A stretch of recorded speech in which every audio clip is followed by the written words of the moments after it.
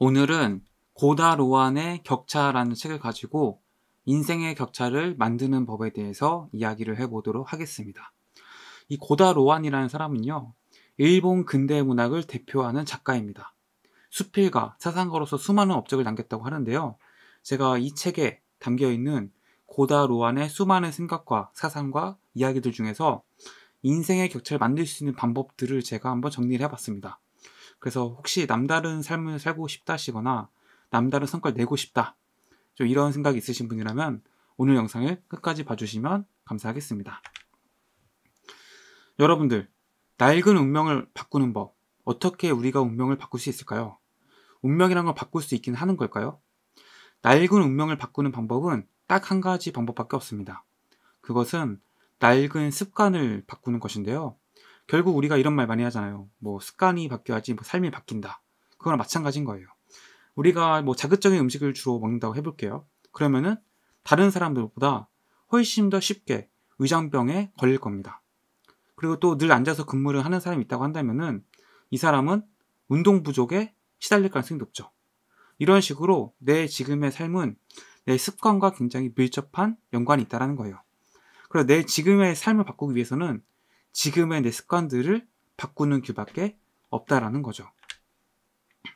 그래서 여러분들이 만약에 지금의 자신이 불만족스럽다면은 그런 자신을 탓하기보다는 현재 여러분의 상태, 자신의 상태를 들여다보셔야 됩니다. 내가 만약에 만족스럽다 하면은 바꿀 필요가 없죠. 만족스러우니까 행복한 삶을 살아가고 계시겠죠. 하지만 뭐 하나라도 아 내가 너무 이 삶이 너무 좀 불만족스럽다 라고 느끼신다면은 내 자신을 들여다보시는 겁니다. 그리고 내 자신을 바꿔야겠다. 이제는 좀 변화를 줘야겠다라는 새로운 결심이 섰다면은 그 고통을 참지 못하고 건강하지 못했던 지금까지 낡은 습관과 싸우시고 이겨내셔야 됩니다. 그래야지 여러분들의 삶은 바뀐다라고 고다로아는 이야기하고 있습니다. 그러면은 사람들 간의 차이는 어디에서 비롯될까요? 어, 고다로아는 이 분투와 노력이라는 개념을 설명하고 있는데요. 이 분투라는 것은 뭐냐면요. 우리가 뭐 고군분투한다 뭐 이런 얘기 많이 하잖아요. 이 분투는 가상의 적이 있다라는 거예요. 근데 노력이라는 것은 대상이 없다라는 거죠. 노력은 대상이 없이 목표에 이르기 위해 최선을 다한다는 거죠. 즉 분투라는 것은 내 경쟁자라든지 뭐 내 주변의 동료, 뭐 주변의 뭐 선배, 후배 이런 사람과 뭔가 갈등, 뭐 다투고 해서 뭔가 쟁취하는 그런 개념이라면은 이 노력이라는 것은 뭔가 내가 다이어트 하기 위해 노력할 거야. 이런 것처럼 뭐 적이라든지 경쟁자라든지 이런 개념이 없는 겁니다. 그냥 순전히 내가 하고 싶은, 이루고 싶은 목표를 위해서 최선을 다하는 게 노력이라는 거죠. 근데 우리가 여기서 이제 한 가지 어, 잘 기억하셔야 될 게 우리가 뭔가를 좋아하잖아요. 우리가 뭔가 좋아하는 일 때, 일을 할 때를 한번 떠올려 볼게요. 이 좋아하는 것은 노력과는 상반되는 경우가 많다라는 거예요. 좋아하는 것은 노력과 상반된다? 이게 어떤 얘기냐면요. 우리가 노력이라는 것은 그것을 뭔가 이루기 위해서, 달성하기 위해서 뭔가 견뎌내고 열심히 뭔가 하는 거잖아요. 즉, 노력이라는 이 말 뜻에는요, 하고 싶지 않은 일을 참고 견뎌낸다라는 이런 의미가 들어 있습니다. 그런데 여러분을 좋아하는 걸 할 때 생각해 보세요. 내가 뭐 좋아하는 뭐 놀이를 한다든지, 좋아하는 일을 한다든지, 좋아하는 어떤 거를 할 때 여러분들 이걸 뭐 좋아하는 일을 뭐 하는 데 있어서 괴롭거나 싫은 뭔가 이런 감정이 전혀 없잖아요. 즉, 좋아한다는 것은 괴로움이나 싫다는 뭔가 하고 싶지 않은 일을 견뎌낸다라는 그런 감정이 없다라는 거예요. 그래서 우리가 뭐 즐기는 일을 해야지만 성공해야 할 수 있다 이런 얘기를 많이 하잖아요. 그게 어떻게 보면 마찬가지 얘기인 거예요. 우리가 어떤 일을 노력한다는 것은 억지로 그 일을 하기 위해서 뭔가 하고 싶지 않은 일을 한다는 거잖아. 거기에는 수많은 장애인들과 내 진입장벽, 뭐 그 걸림돌, 부담감 이런 것도 많을 겁니다. 그럼 거기에 훨씬 더 많은 에너지가 쏟아지겠죠. 좋아하는 사람은 좋아하는 일을 하는 사람들은 그런 장애물들이 없는 겁니다. 내가 이것을 한다는 생각조차 없이 굉장히 즐겁게 시간 줄도 모르고 하고 있는 거죠. 그러니까 당연히 좋아하는 일을 하는 사람, 즐기는 일을 하는 사람이 훨씬 더 잘 될 가능성이 높아지는 거죠. 물론 좋아하는 마음으로 시작을 했어도 남다른 열정과 노력이 동반되지 않는 한 쉽게 좌절될 가능성이 높습니다. 그래서 좋아하는 일을 우리가 많이 어렸을 때 많이 해봤잖아요. 근데 금방 실증이 나고 그 좋아하는 일을 한다고 할지라도 뭔가 내가 노력하지 않으면은 그 분야에서 업적을 남긴다라는 것은 굉장히 힘듭니다. 좋아하는 일로 한 번, 두 번 뭐 일을 해볼 수 있고, 그때 뭐 몰입을 해볼 수도 있고, 집중할 수도 있지만, 그것이 단순히 그냥 그 정도 수준에서 멈추게 된다면은 이것은 내 직업이 될 수 없을 뿐더러 내가 그 분야에서 뭔가 남기기에는 어려워진다라는 거죠. 즉, 격차가 생길 수는 없다라는 거예요. 좋아하는 일을 하더라도 열정과 노력이 동반되어야지만 노력이 깃들어져야지만 뭔가 일정한 다른 사람이 뭔가 눈여겨 볼 만한 그런 성과가 나올 수 있다는 거죠. 그래서 좋아하는 일을 한다고 해서 무조건 우리가 노력하지 않아도 된다는 것은 아니다. 하지만 좋아하지 않은 일을 했을 때보다는 훨씬 더 그 장애물, 뭐 거부감, 부담감 이런 것들이 훨씬 더 적다라는 겁니다. 그래서 결국 우리가 찾아야 되는 것은 어, 남다른 열정과 행동입니다. 내가 좋아하는 일을 하든 안 하든 간에 결국에는 남다른 열정과 행동을 할 때 우리는 그 분야에서 남들과는 큰 격차, 차이를 보여줄 수 있다는 거죠.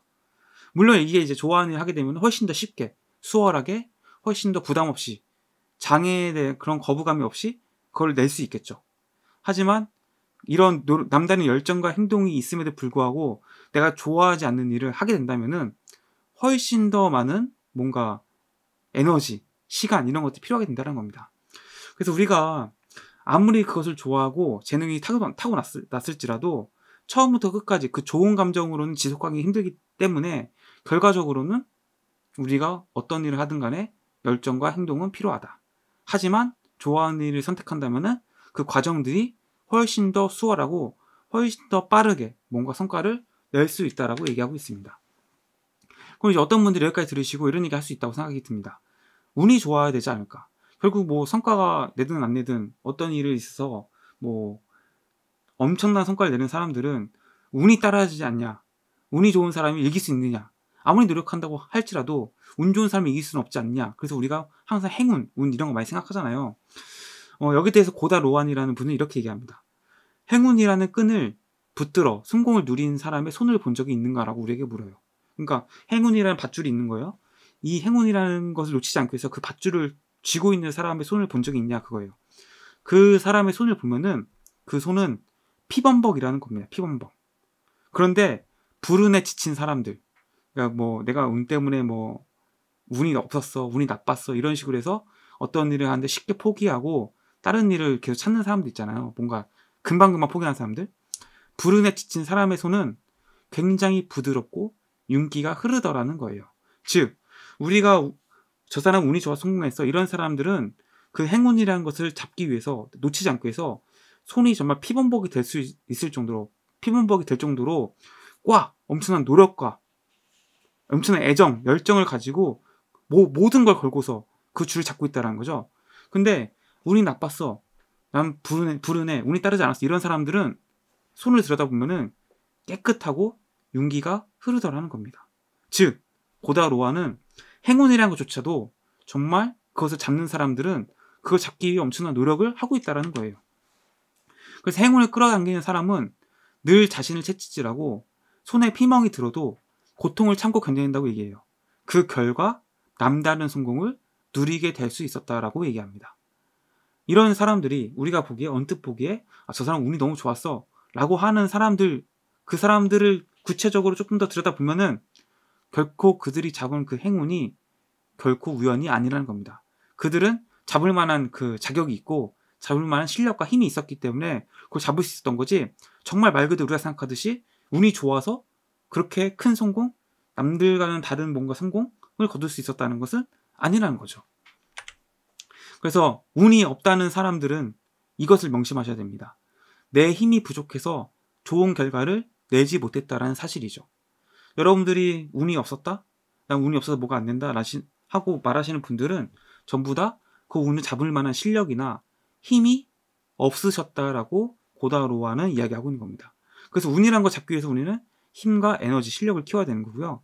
그 사람들만이 그 우리가 언뜻 보기 행운이라고 거저 들어온 복처럼 보이는 그런 것들을 잡아낼 수 있다라고 고다로와는 이야기하고 있습니다. 그래서 내가 지금까지 운이 없었다. 나는 지금까지 행운이 들어온 적 없다라고 생각하시는 분들은 내가 힘이 부족했다. 내가 실력이 없었다. 내가 그 좋은 행운들을 잡을 만한 안목이나 노력이나 실력이 없었다는 것을 꼭 명심하시고 그것을 키우시길 바라겠습니다. 그래서 오늘은 인생의 격차를 만드는 법이란 주제로 어, 고다 로안의 이야기를 해보았습니다. 그래서 여러분들 남들과 다른 성공을 하고 싶다면은 그 남들과 다른 성공을 만들어낸 사람들의 보이지 않는 노력과 그런 뭐 실력, 그 사람들이 쏟는 에너지와 열정들 한번 들여다 보시기 바랍니다. 아마 우리가 보기에는 그냥 쉽게 된 것 같아 보이지만 어마어마한 힘과 에너지가 들여서 지금의 그 사람이 있을 겁니다. 그래서 저와 함께 인생 거차를 만들기 위해서 앞으로 노력하시는 삶을 살았으면 좋겠습니다. 오늘 제 영상에 도움이 되셨다면 구독과 좋아요를 해주시면 감사하겠습니다. 고맙습니다.